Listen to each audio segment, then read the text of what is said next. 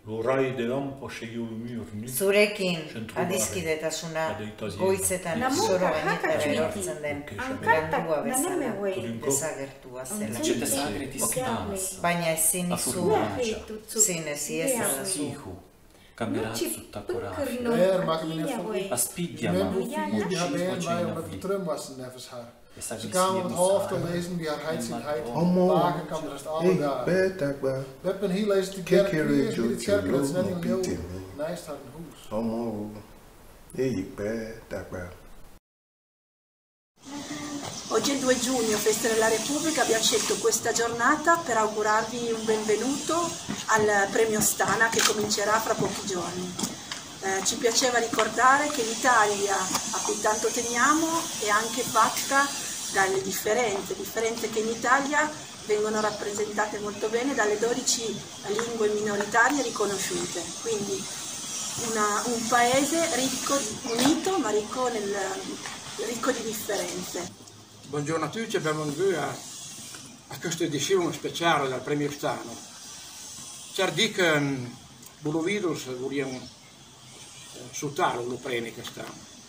Après la fantasia di Ines, ho, trovato la maniera di farlo via, via web, come si dice. E, è un momento particolare.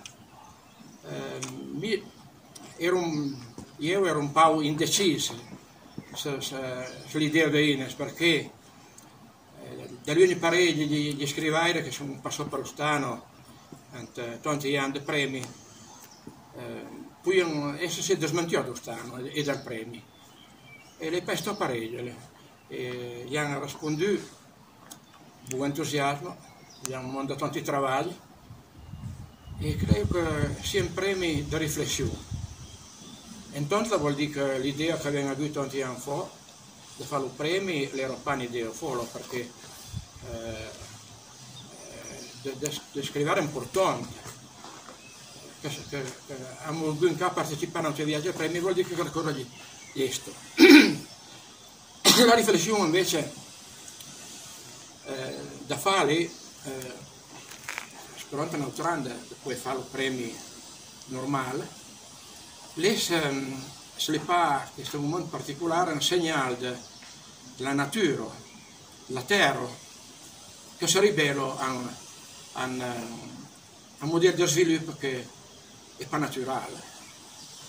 È un mondo che va avanti da, da tanti ormai troppi anni come unico obiettivo la crescita economica, per dire in italiano, lo sviluppo che finì mai, sfruttare la terra, sfruttare il pianeta in una maniera come eh, mente che, che capito, eh, magari la natura non insegnare.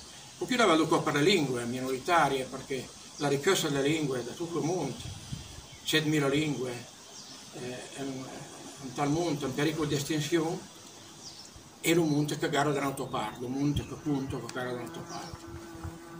E quindi per me è un segnale eh, da meditare per, per, per, per l'avenire, che vuole pas che tutto il mondo eh, sia condizionato e sia obbligato a parlare inglese.